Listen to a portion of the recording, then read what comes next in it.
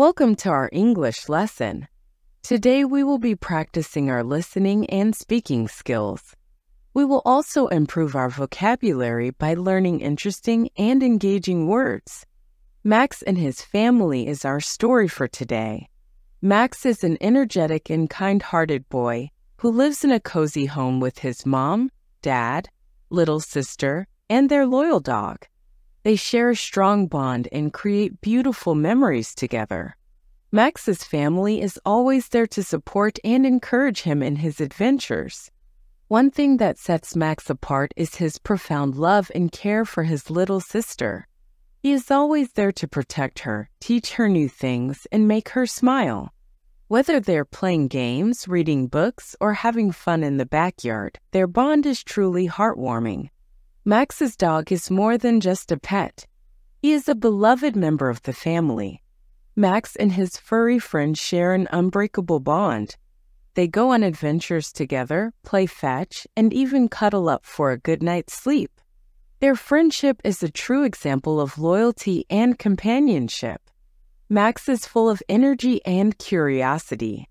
He loves exploring the world around him but what truly sets him apart is his kind heart.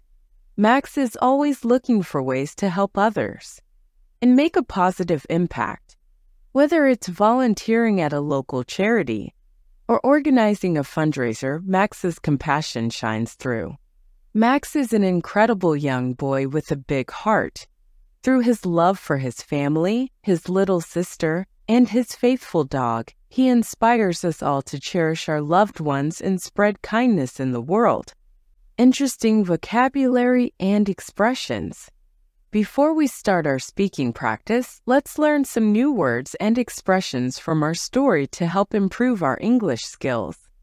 Cozy is an adjective that describes something warm, comfortable, and inviting. It gives a feeling of relaxation and intimacy. For example, after a long day of work, I looked forward to coming home to my cozy apartment and enjoying a hot cup of tea. Curling up on the sofa with a blanket, I felt completely at ease in the cozy environment. A bond is a noun that refers to the close relationship or connection between two people or things. When something is described as having a strong bond, it means that the relationship is very close, intimate, and trusting. For example, through our numerous English lessons together, I felt that I had developed a strong bond with my favorite student, Alex. We were able to discuss all sorts of topics, and he always felt comfortable practicing difficult conversations with me.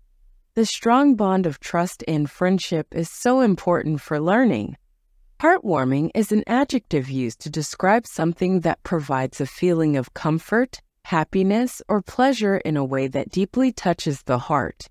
For example, it was such a heartwarming moment when the student told me about her significant improvement in English as a result of our lessons together.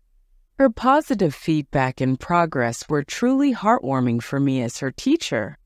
Beloved is an adjective that refers to someone or something that is greatly loved, cherished, or adored.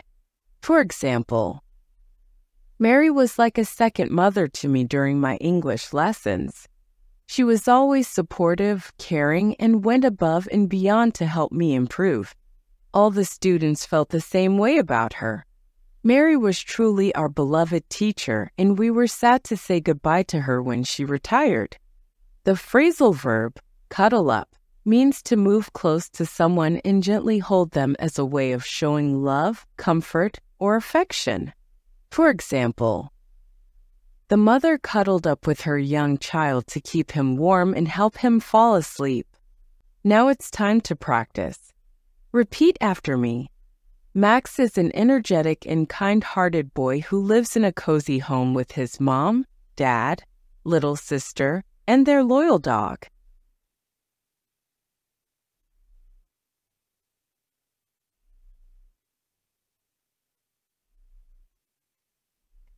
Max's dog is not just a pet, he's a beloved member of the family.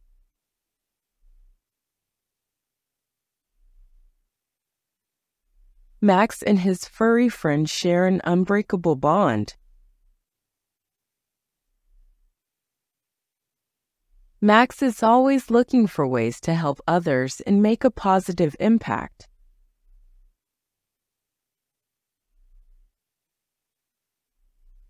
Max's family enjoys spending evenings together in their cozy living room.